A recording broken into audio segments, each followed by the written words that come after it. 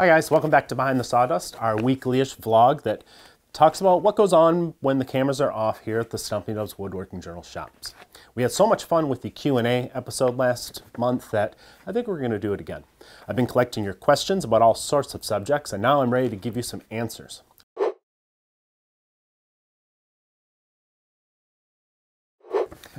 This isn't a question as much as a comment that we get from time to time, mostly on these vlogs, and I always answer it the same way. It's a vlog. It's supposed to be talking. Don't like vlogs? Great. But you can't judge an entire woodworking channel based on one type of video. That'd be like saying, I hate McDonald's because all I have is Big Macs. You're gonna miss out on the delicious fries.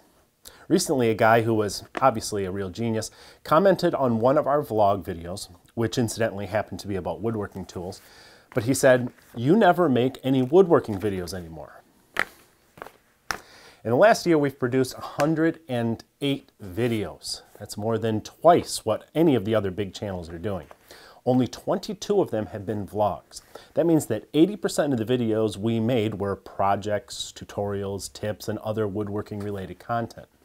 Someone here suggested that the comment may have meant that we don't produce project videos like all the other channels do. But that's not true either, because we produced 40 project videos this last year. Now granted, we haven't done a lot of non-jig related projects in the last couple of months, but I think that's a good thing. YouTube is now full of woodworking channels that do these little five minute project videos every week. They've got that stuff covered. What we try to do through our channel and through Stumpy Nubs Woodworking Journal e-magazine is to teach new skills, provide tips and a lot of homemade jigs and tools to help you become a better woodworker that may not appeal to as many casual viewers as the crafty projects do, but we're targeting a different kind of audience. Ours is a more dedicated woodworking audience, not a DIY or maker audience, which is what drives the big numbers on other channels.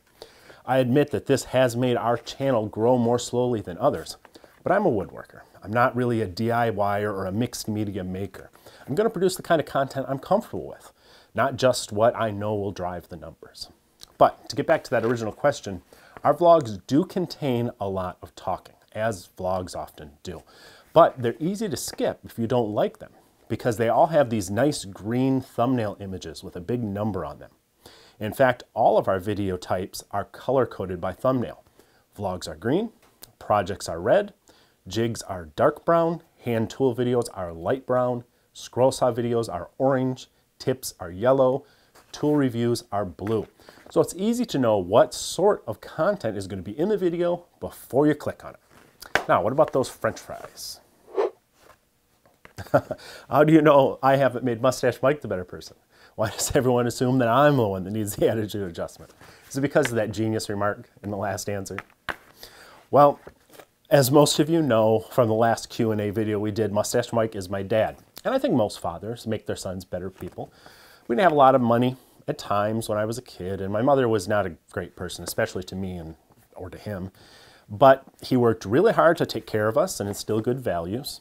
Uh, he taught me how to run my own business and set me up with my first accounts in a residential window cleaning business back when I was just 16 years old, which turned out to be great for me because it gave me the freedom over the years to do a lot of the things that I wanted, including pursuing woodworking on the side, which eventually transitioned into a full-time career. If he hadn't taught me to run my own business when I was a kid, there's no way I'd be doing what I'm doing today. I'd be working in some crappy job for someone else, dreaming about woodworking someday if I retire. Instead, I'm living the dream. Has that made me a better person? No, I'm still a moron, but it has made me a happier person. We touched on this one in the last Q&A video, but that was in answer to a different question about the origin of the Stumpy Nubs nickname. So we'll cover this part again. We haven't officially stopped using the Stumpy Nubs name. We still use it all the time. People still call me Stumpy at public events. I'm totally cool with that. But when I started writing, the magazines and my book publisher preferred James Hamilton. And at some public events like Woodworking in America, they also promote it as James Hamilton. So now I have one group that knows me as Stumpy Nubs and another as James Hamilton. The easiest way to fix that was to combine the two by starting to use my real name at the beginning of videos while keeping the Stumpy Nubs brand at the same time. So the e-magazine is still going to be called Stumpy Nubs Woodworking Journal. The YouTube channel is still listed as Stumpy Nubs. Over the next couple of years, Popular Woodworking is going to be releasing a series of Stumpy Nubs guidebooks to certain tools.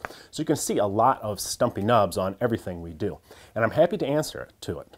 By saying James Hamilton at the beginning of our videos, I'm not making an official change. It's more of an addition of my personal name to the Stumpy Nubs name for the sake of avoiding confusion among different parts of the audience. Now this is a loaded question if I ever saw one. If I only name three people, then people will say that means that I don't like other people. Uh, so I'm not going to mention just three, but I will tell you some of my favorite woodworking related channels. I like to watch videos that are really well produced. To me, a well produced video is more appealing than the actual content in it.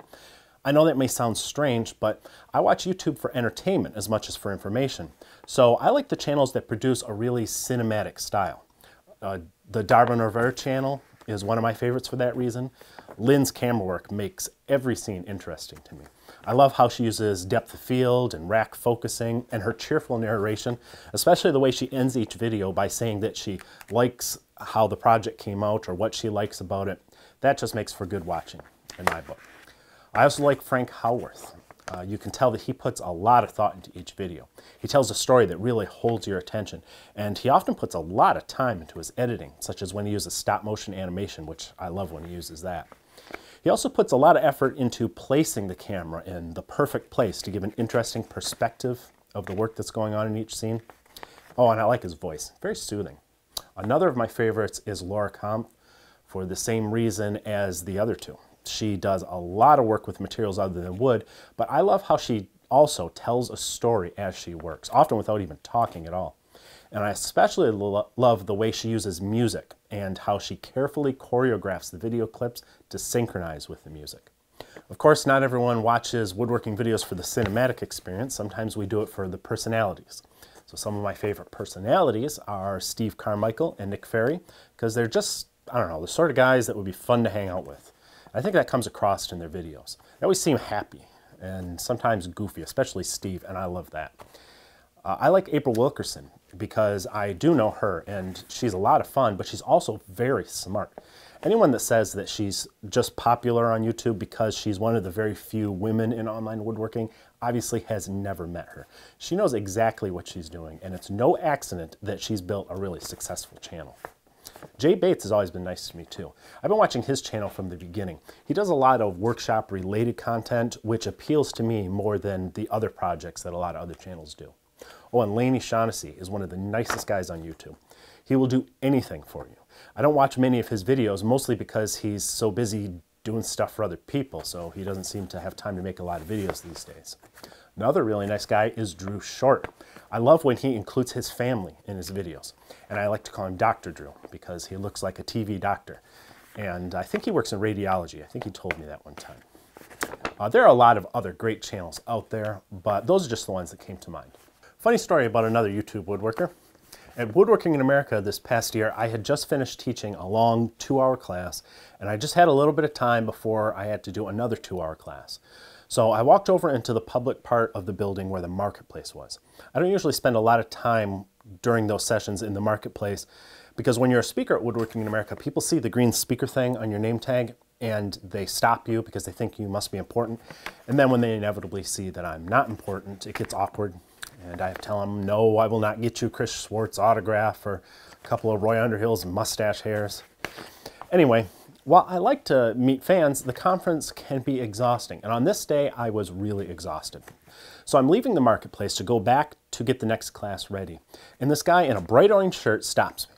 So I say hello and everything, and he starts telling me about building a drum sander that I designed.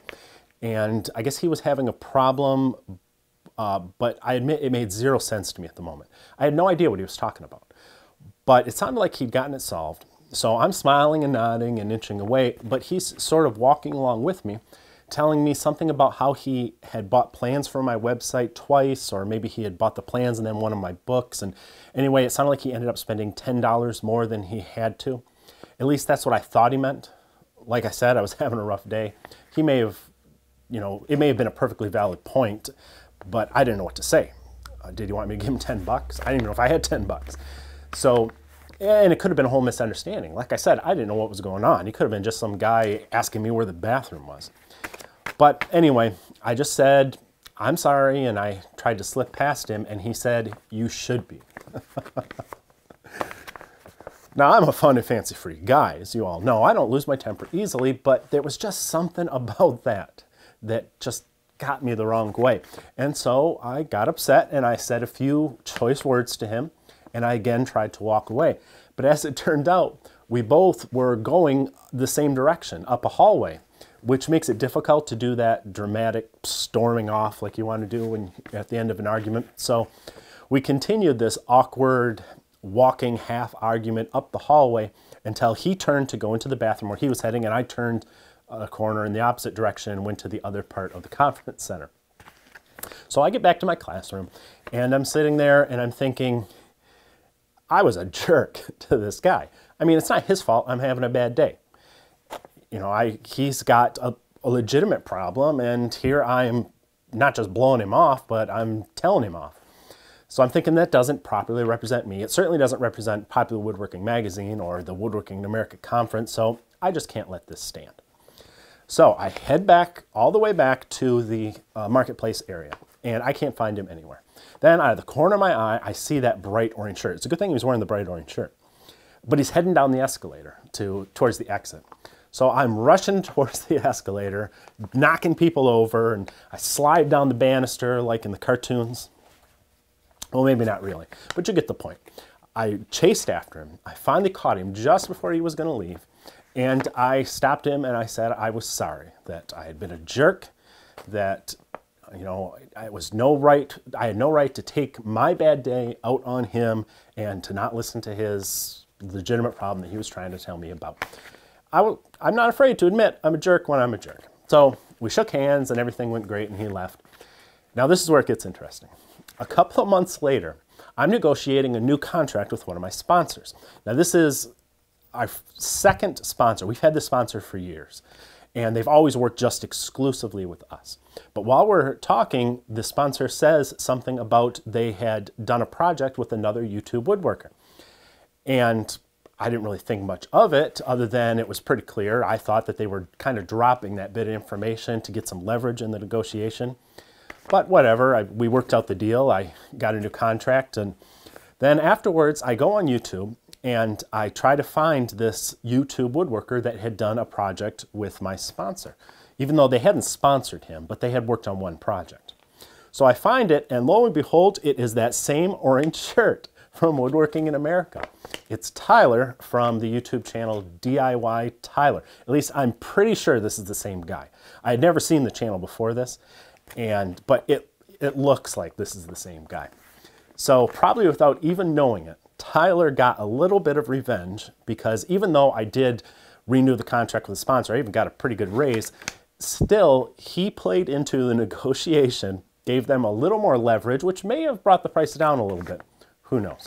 So, DIY Tyler, if you're out there, and it is you, I hope hopefully it was you because I've now told this whole story, and if it wasn't you, this is going to be really awkward. But I'm still sorry that I acted like a jerk to you, and uh, call me. We'll hang out. But I thought that was the funniest thing, and you should check out uh, D the DIY Tyler channel on YouTube. I'll link to it in the notes below the video.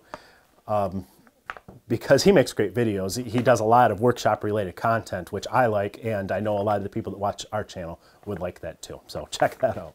That wraps things up for this Q&A edition of Behind the Sawdust. If you have questions, leave them in the comments below or contact us through our website using the Contact Stumpy link, or you can leave them on Facebook or Twitter for us. Don't forget to support our sponsors who made it possible for us to produce over 100 free woodworking videos this past year you can visit their websites at the links below this video. Just check them out and see what they have to offer. I consider a personal favor. Next week, we'll do something different on Behind the Sawdust, so tune in to see what that'll be about.